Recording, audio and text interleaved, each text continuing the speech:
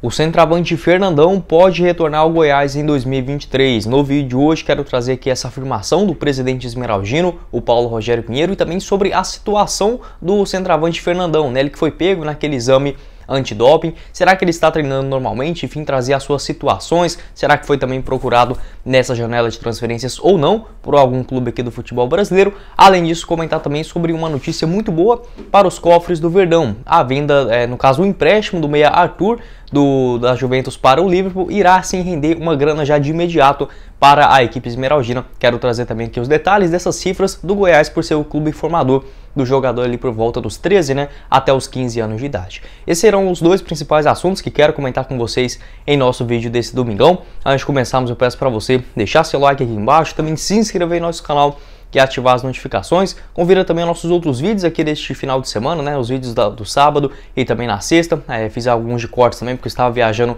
lá em Gramado nesses últimos dias, né? É, tanto na sexta quanto no sábado. Inclusive vou estar deixando meu Instagram pessoal, arroba Gui Machado Jack, para você conferir aqui embaixo também. E hoje, a partir do domingão, né? Já trazendo aqui essas notícias mais quentes da, do time esmeraldino dos seus bastidores, combinado? Outro recadinho também importante que quero passar para vocês é do nosso apoiador aqui do Goiás News, que é a Sorte Golbet, casa de apostas esportivas para você lucrar bastante nos jogos desse final de semana, inclusive com o Goiás, né, jogando contra o Santos amanhã na segunda-feira na Vila Belmiro. Ainda nesse domingão teremos aí é, uma partida às 4 horas da tarde entre Corinthians e Internacional, uma vitória do Corinthians paga R$ reais e dois centavos a cada real apostado, um empate 2,48 e uma vitória do Internacional fora R$ 3,14. Além disso, Fortaleza e Botafogo, jogo bom para o Goiás torcer para o empate, né? Nessa partida lá no Castelão. Atlético Goianiense enfrentando o Atlético Mineiro, Cuiabá e São Paulo, Cruzeiro e Criciúma na Série B. Aparecidense entrando, em campo, né? Ainda nesse domingão, às 3 horas da tarde, diante a equipe do Botafogo de Ribeirão Preto dentro de casa. Vou estar deixando o link aqui embaixo na descrição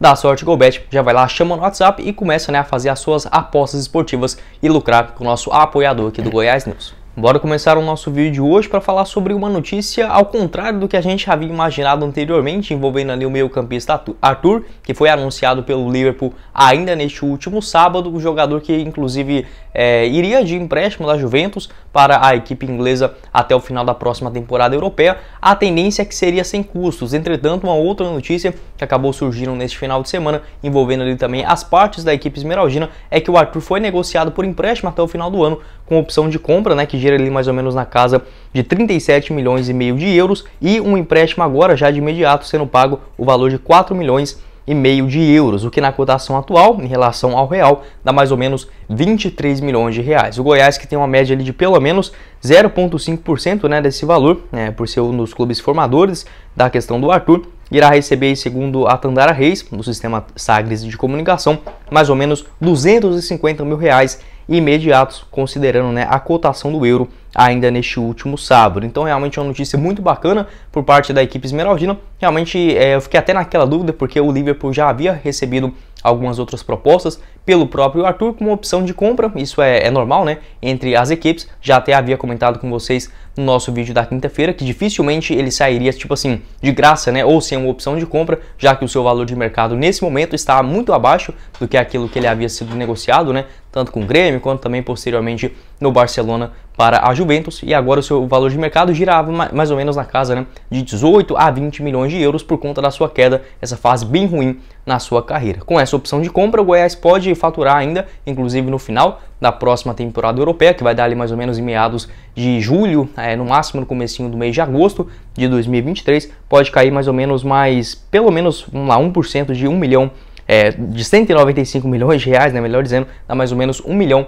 950 mil reais, caso o Liverpool né, exerça esse seu direito de compra. Como informou a Tandara Reis, que seria é, caso o Liverpool compra o jogador no final do ano, seria pagos em dois anos, ou seja, a primeira parcela, o Goiás pegaria metade do seu valor que tem direito, e na segunda também, aí sim, né, quando cai o dinheiro, aí que repassa para os seus clubes formadores e os outros dividendos para as outras equipes também. Né? Então não é, não, não, não é pego tudo de uma vez nessa negociação envolvendo a sua compra em definitiva, mas nesse momento para o empréstimo lá na Inglaterra, aí sim, né, 250 mil reais, chegando nos próximos, é, nos próximos dias já na equipe esmeraldina. Uma boa notícia, né, realmente uma grana no futebol que está ficando cada vez mais caro, dificilmente chega em uma hora ruim. Esses 250 mil reais pode é, aliviar um pouco da questão esmeraldina, que tem o seu fluxo de caixa bem controlado. É bem verdade que o Goiás não tem condições de fazer nenhum absurdo, mas em questões de pagamento de salários, enfim, tanto dos jogadores quanto dos outros funcionários dos bastidores da equipe, realmente tudo certinho. É, mas, por exemplo, teve uma grande negociação assim no questão de mover, é, movimentar os pauzinhos, né, as questões financeiras do Goiás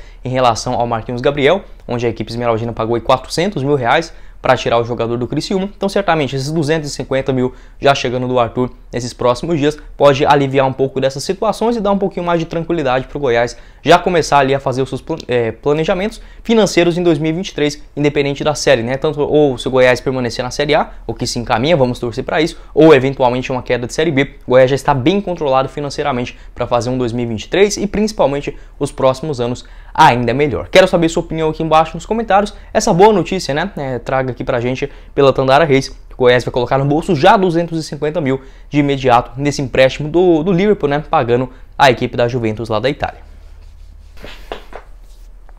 Outro assunto também importante que quero falar com vocês nesse final de semana envolve também a chegada, a volta do centroavante Fernandão, jogador que teve uma ótima passagem pela equipe esmeraldina lá na Série A do Campeonato Brasileiro de 2020, marcando incríveis 10 gols em 24 partidas naquele elenco horroroso do Goiás, né? Ainda assim o Fernandão sendo o artilheiro da equipe na primeira divisão. 35 anos de idade, teve a sua punição é, por conta do, do antidoping, né, que ele ainda fez naquelas últimas rodadas, na penúltima, melhor dizendo, né, contra o Bragantino na Serrinha. Acabou que finalizou ainda ali no, no finalzinho do mês de fevereiro de 2021, é, no Campeonato Brasileiro ainda válido pelo ano de 2020 e aí sim, né, já sendo punido pela FIFA, é, pela CBF, melhor dizendo, até é, teve aquela chance de voltar ainda no finalzinho do mês de outubro lá do ano passado, acabou que teve essa sua punição estendida até o final do mês de junho deste ano de 2022 e agora sim já está 100% livre para retornar ao futebol. E uma pergunta interessante de algum torcedor que eu não consegui identificar, também só apareceu lá no grupo do WhatsApp, mas já dá para confirmar sim que é o presidente Esmeraldino, perguntando, né, presidente, existe alguma possibilidade do Fernandão voltar ao Goiás em 2023? E o presidente do Goiás, né, o Paulo Rogério Pinheiro, acabou respondendo em seu Instagram, abre aspas, né, sim, existe, fecha aspas, bem sincero, bem grosso, né, como ele costuma ser lá no Instagram mesmo, e assim, é, dando essa possibilidade realmente do Fernandão retornar à equipe esmeraldina. Já havia confirmado com fontes do próprio Goiás mesmo que não houve consulta pelo centroavante Fernandão agora nessa janela de transferências que se encerrou né, né ainda no finalzinho do mês de agosto. O Goiás não procurou o Fernandão para contar com o atleta já agora de imediato, mas sim existe essa possibilidade dele retornar à equipe esmeraldina no ano que vem. Acho até uma boa é, se o Goiás, assim, se possível, né? Porque o Fernandão está fazendo os seus treinamentos, inclusive desde quando parou ali, o, o a, teve aquela interrupção da sua carreira por conta do doping, né? Ele já havia treinando dentro da sua casa, enfim, fazendo outras preparações com alguns dos seus treinadores particulares e não parou né, de, de estar sempre se condicionando fisicamente para retornar um dia. Então, um cara que já está, inclusive, assim, até que bem fisicamente, você olha dele, não tem muita diferença daquele Fernandão que defendeu o Goiás. E a gente sabe né, que quando o jogador quer aposentar, em dois, três meses o cara já, já começa a ter a barriguinha de chope né, e não volta mais aos treinos como era antes. O Fernandão, muito pelo contrário, inclusive postou ainda é, neste último, né, durante essa, essa semana, se eu não me engano, na terça-feira, uma foto com o short do Goiás, ele fazendo um, alguns pré-aquecimentos né, antes de ir para o seu treino em definitivo, e um short do Goiás que, se eu não estou enganado, ainda nesses últimos anos, né, de 2021, ou seja, né, mesmo enquanto ele não estava no Goiás, enfim, usa ali algumas coisas, vira e mexe também, marca a equipe esmeraldina, o cara que certamente está nos planos da equipe do Goiás para o ano que vem. Na minha opinião, poderia até ser uma boa, sim, o Goiás é, solicitar, por exemplo, já a sua volta nesse final de ano, né? Porque não já ir treinando na equipe esmeraldina, ter ali os seus outros companheiros para dar aquela força, né? Muito, muito mais difícil o cara ficar treinando ali em casa, enfim, longe também é, de uma eventual volta, né? A sua equipe, já que ele está no Rio de Janeiro, que é a sua cidade natal, mas enfim, acho que poderia já ser uma boa alternativa para o Goiás, visando ali é, a, a provável iminente saída do Pedro Raul também para o ano que vem e ter essa alternativa do Fernandão, que pode não ser assim o nome dos sonhos, mas é um cara que fez uma, uma boa Série A lá em 2020. Também se a gente imaginar que tem um campeonato goiano para o cara se condicionar fisicamente, enfim, pegar aquele ritmo de jogo que a gente sabe que é muito difícil, né? Depois que o cara acaba ficando muito tempo parado, pode ser uma boa solução para o ataque esmeraldino no ano que vem. Ainda envolvendo essa parte de saídas, né? O Pedro Raul, que como eu disse, ele só está emprestado ao Goiás, dificilmente, é quase muito impossível, para dizer a verdade, o Goiás comprar o Pedro Raul no final do ano. Eu até confio bastante no Nicolas, sabe? Eu acho que é um cara que vem crescendo é, inclusive na sua questão é, de, de, qualidade mesmo de jogo nesse ano de 2022. Ainda não vem sendo titular absoluto, porque o Pedro Raul realmente está muito encantado e assim, vem evoluindo e já tem essa experiência em uma Série A com um dos artilheiros, inclusive da competição sendo seu companheiro, né, que é o Pedro Raul. Estou confiante também para o Nicolas, que tem contrato até o final do ano que vem, para ser uma das, uma das boas opções no ataque esmeraldino e por que não, né, fazendo uma dupla ou enfim, os dois revezando nessa disputa sadia dentro da equipe com o próprio Fernandão. Quero saber sua opinião aqui embaixo nos comentários. O que, você pensa a respeito do jogador? 35 anos de idade, mas se você olhar o corpo dele ali, parece um garotão ainda de 26, 25 anos de idade tranquilamente, vem se cuidando bastante. É, havia feito essa ótima Série A né, pela equipe Esmeraldina lá em 2020, jogador já bem experiente, jogou aí no Bahia, também na equipe né, do Palmeiras, Atlético Paranaense, Guarani, Paysandu, Volta Redonda, Flamengo, enfim, o experiente Fernandão, na minha opinião, pode, pode ser uma boa alternativa, enfim, um jogador que certamente não será tão caro, fazer ali algum teste com ele né, no Campeonato Goiano, é um cara que certamente vai fazer alguns gols. E na Série A, ou eventualmente né, numa Série B, mas vamos torcer para que seja na primeira divisão, já não cravar nada aqui né, antes do tempo, mas enfim, acho que pode sim é, ser uma boa alternativa visando o próximo ano. Quero saber sua opinião, o que, é que você pensa a respeito dessa volta né, do Fernandão. A presidente do Goiás, apesar de não ter procurado jogador nessa metade do ano, disse sim que está nos planos para 2023. Como eu disse, né, para mim acho que já poderia já estar treinando dentro do Goiás, já conhecendo seus eventuais companheiros para a próxima temporada.